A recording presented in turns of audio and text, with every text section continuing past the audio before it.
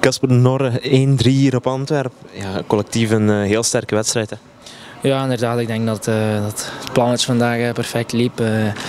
Ik denk dat Antwerpen moeilijk, moeilijk tot voetballen kwam. Ik denk dat ze wel veel balbezit hadden, maar echte kansen konden ze niet echt creëren. En uh, dan konden wij op de tegenaanval een, een, aantal keren stevig tegenprikken. En, en zo kunnen we hier een mooie overwinning boeken.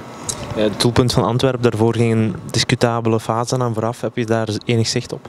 Nee, ik had er eigenlijk niet. Ik was zelf ook op dat moment naar voren lopen en ik kijk op dat moment naar de bal. En ik denk dat uh, de fout op, op Roman uh, op dat moment eigenlijk buiten, waar de bal niet is, uh, gebeurd. En ik had het zelf niet gezien en toen was ik direct bezig met terug te lopen omdat zij de bal hadden. Dus ik heb daar eigenlijk niet veel van meegekregen.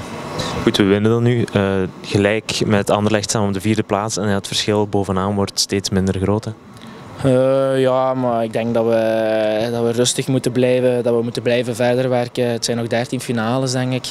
Ik denk uh, dat we nu gewoon uh, wedstrijd per wedstrijd moeten beleven. En, ik denk 30 punten behoud is dan al wel zeker en vast denk ik, vastgesteld.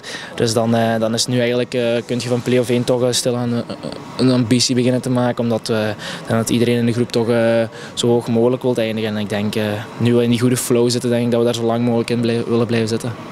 Ja, en uh, nu volgende week wedstrijd per wedstrijd bekijken, dan hebben we er al twee. Dus een best zware week. Manal United in de beker en dan standaard. Ja, die, die bekermatch zeker nog vast niet vergeten. Daar is ook, uh, dit jaar uh, liggen er ook kansen, denk ik, uh, met zoveel grote ploegen die er al uit liggen. Dus dan moeten we proberen Mandel zeker niet te onderschatten. Zeker die match heel geconcentreerd ja, beginnen. En dan, dan proberen die tot een goed einde te brengen. En dan daarna kunnen we, kunnen we naar standaard toe werken.